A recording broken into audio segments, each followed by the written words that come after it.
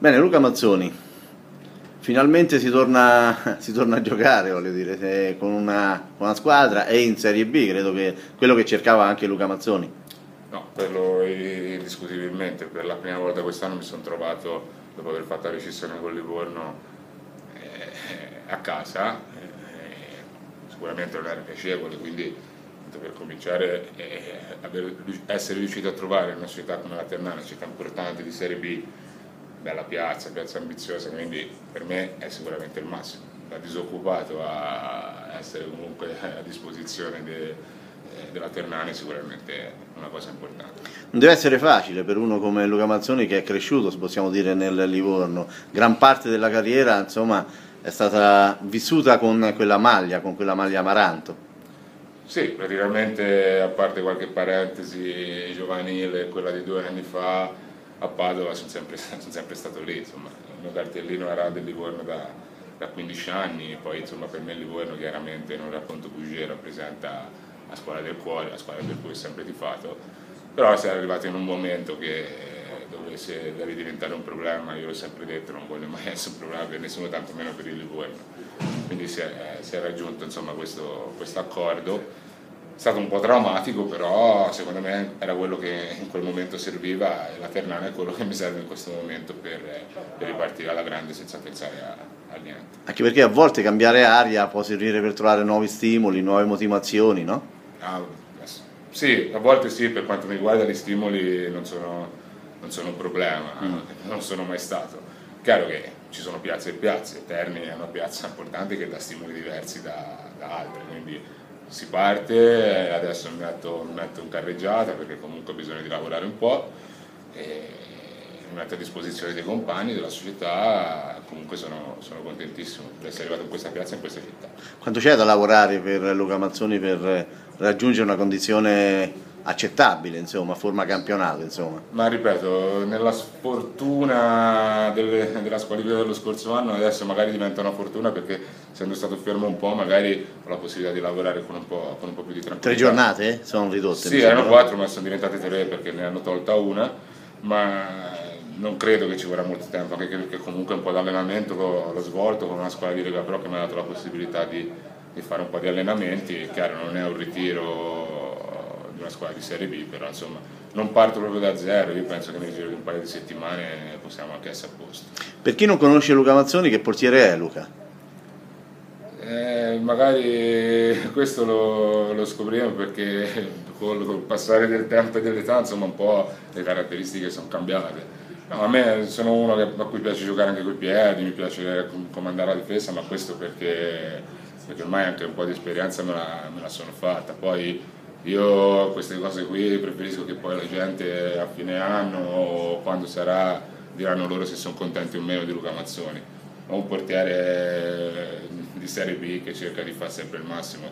Sicuramente grintoso, quello lo posso dire, anzi forse a volte eh, mi devo frenare un attimo e cercherò magari di farlo perché l'esempio dell'anno scorso insomma mm. mi ha lasciato qualche cicatrice. Ho capito. Eh, è un uomo spogliatoio Mazzoni da quello che ci risulta? Beh, io cerco di esserlo, ma per, portando quello che sono, cioè non è che mi sforzo a, a fare chissà cosa. Io penso che arrivate magari a 31 anni in questo momento mi sembra aver capito che sono anche il più vecchio dello spogliatoio, quindi non mi reputo vecchio, però insomma in questo momento di fatto lo sono. E io porto quello che ho, un po' di esperienza, un po' di carisma se, se riesco un po' di spensieratezza a volte anche perché di noi, di noi livornesi eh. spero che questa sia gradita insomma però adesso io so che in questo spogliatoio ci sono personalità importanti quindi bisogna entrare giustamente con i piedi di piombo prima di non essere loro a farmi capire un po', un po come all'andarsi io devo essere bravo ad adeguarmi Com'è stato il primo impatto? No, il primo impatto ottimo ma come mi è capitato già di dire ai tuoi colleghi insomma gli alterni è una vita che rischio di venirci, poi non ci sono mai venuto, infatti quando stavo per saltare la trattativa ho detto non è, non è destino. È una città che mi piace, conosco tante persone che abitano qua, è una città che eh, la, sento, la, sento, vicina per, per, un sacco di motivi, la vedo molto simile a Livorno. Manca il mare, ma quello non è un problema, ah, sì. è un'altra cosa. Ma so che i ternani sono persone genuine e sicuramente non avrò problemi a, integrare. Oh, è stata una trattativa lunga, perché eh, insomma, già prima della prima partita di Coppa Italia si diceva che Mazzoni, perlomeno leggendo un messaggio Facebook, che Mazzoni di una persona che era vicina a te, che è stato preparatore dei, tuo, penso quando eri giovane, eh, doveva essere imminente l'arrivo di Mazzoni e invece abbiamo dovuto aspettare più di 15 giorni. Sì, penso che mm, la, forse sono uscite un po' di notizie anche sui siti, però eh, di vero c'è che col direttore, da quando è arrivato il direttore Acri, ci siamo parlati quasi da subito.